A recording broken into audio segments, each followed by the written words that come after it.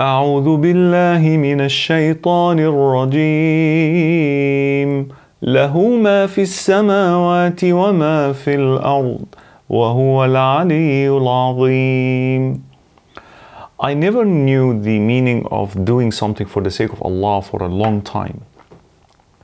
And one day I was discussing with uh, one of my mashayikh and I told him like, what does it really mean to do something for the sake of Allah? He said, doing something for Allah's sake would mean that He is your ultimate aspiration. Yes, you're working to become successful in this dunya, to become a good student, to become a successful businessman or having a good career and so on and so forth because Allah subhanahu wa ta'ala also told us in the Quran to become successful, not to forget the portion being provided for us in this dunya. وَلَا تَنْسَ نَصِيبَكَ مِنَ الدُّنْيَا But the ultimate goal is to reach up to Allah subhanahu wa ta'ala.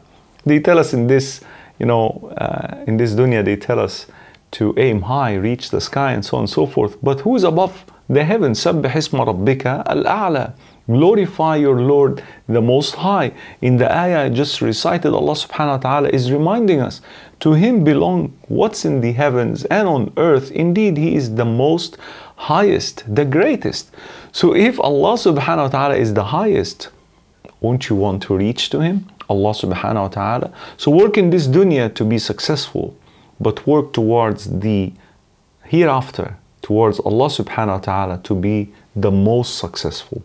Al-Faizun, أولئك هم الفائزون. Those are the true winners who work and aim for, towards Allah subhanahu wa ta'ala.